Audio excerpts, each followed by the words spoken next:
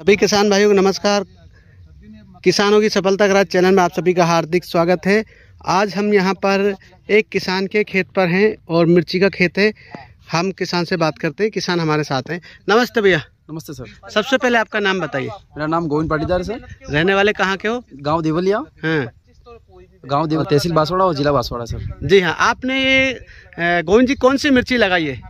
अ, sir ये हमने sir तलवार तलवार वैरायटी। कितने पैकेट आपने लगाए? ये सर हमने दस पैकेट लगाए। ये आपने कब की थी नर्सरी? सर चार जून को इसको लगभग लगाया था हमने। नर्सरी चार जून को की थी जी। और दस जुलाई को हमने इसका ट्रांसप्लांट किया था। जी हाँ। तो आज 10 जुलाई को किया था। और हाँ। आज दिनांक की बात करते हैं तो अपन चौबीस अगस्त है। चौबीस अगस्त दो हज़ार चौबीस आज। जी हाँ इसको चौवालीस दिन हो गए आज। हाँ। तो आपको ये वैरायटी कैसी लगी गोविंद जी? अच्छी अलग वैरायटी क्योंकि पास में दूसरी भी लगभग वैरायटी लगी है उससे लगभग क्या इसमें रोग प्रतिरोधक क्षमता ज़्यादा है पौधे के अंदर ही और सहनशीलता जैसे मौसम के प्रति जैसे अभी देखा कि सर जैसे अभी बारिश हुई सात आठ दिन लगातार। जी हाँ। तो इसमें क्या दूसरे पौधे जो थे वेरायटी वो सूख रही थी लेकिन ये जैसे कि मौसम के प्रति और बाकी जो किट थे उसके प्रति लगभग सहनशील थी थोड़ी ज़्यादा।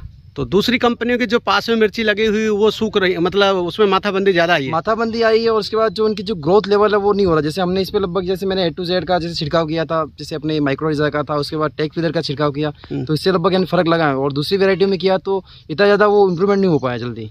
तो ये वैरायटी आपके कहने के हिसाब से दूसरी कंपनी की वैरायटियों से अच्छा है। हाँ। तो किसान भाइयों को कलश कंपनी की तलवार में विश्वास करना चाहिए। बिल्कुल करना चाहिए। तो किसान भाइयों मैं आप लोगों को एक बार वापस दिखा देना चाहता हूँ। हम गोविंद जी हमारे गोविंद जी पाटीदार गाँव देवलिया बांसवाड़ा के हैं और इन्होंने यहाँ पर कलश कंपनी की तलवार मिर्ची लगाई है।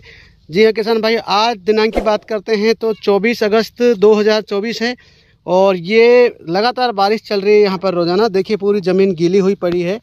अगर अपन मिर्ची की बात करें तो यहाँ पर कलश कंपनी की ये चौदह सड़सठ तलवार मिर्ची है। एक महीने चौदह दिन का हो चुका है पौधा और मिर्ची लगना स्टार्ट हो गया है। ये देखिए किसान भाइयों छोटे छोटे फ्रूट आ गए हैं।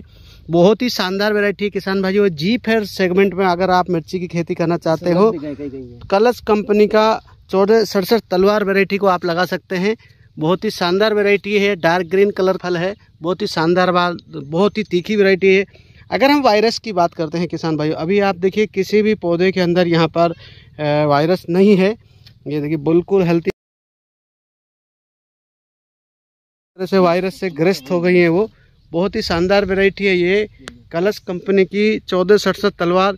किसान भाइयों, इस वैरायटी को आप, अगर जी फोर सेगमेंट का आपको हाइब्रिड चाहिए तो कलश कंपनी की चौदह सड़सठ वैरायटी लगा सकते यहाँ हम लगाने की बात करते हैं तो किसान ने जो लगाने का प्रैक्टिस है यहाँ पर यहाँ पर रेतीली मिट्टी है, बोलई मिट्टी अपन इसको कह सकते हैं, हल्की मिट्टी है। पौधे से पौधे की दूरी इन्होंने आठ से दस इंची का रखा है यहाँ पर। बहुत पास रखा है, इतना नहीं रखना चाहिए, दूर करना चाहिए। और लाइन से लाइन की दूरी अपन बात करते हैं तो दो फीट का इन्होंने रखा है। चारे की अपन बात करते हैं तो किसान ने बहुत मेहनत की है यहाँ पर। चारा बिल्कुल भी नहीं है खेत के अंदर, बिल्कुल क्लीन है खेत। बहुत ही शानदार प्रैक्टिस है फार्मर की। इनको थोड़ा ये पौधे से पौधे और लाइन से लाइन की दूरी को और बढ़ाना चाहिए अधिक उत्पादन लेने के लिए।